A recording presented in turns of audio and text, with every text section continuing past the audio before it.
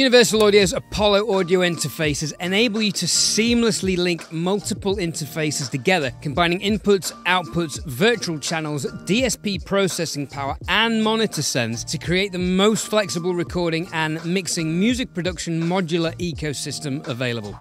Up to six UAD2 devices can be linked together over Thunderbolt, including up to four Apollo interfaces. Now, you may start with one desktop interface, such as an Apollo Solo Twin or X4, but you can add three rack units alongside these as your needs grow. On top of this, each Apollo can process up to 8 channels of optical ADAT or stereo SPDIF digital inputs and up to 8 ADAT or stereo SPDIF digital outputs on the X4, 6, 8, and 8P models. The Apollo driver is actually expandable up to 128 inputs and outputs with ADAT, AES, and virtual channels.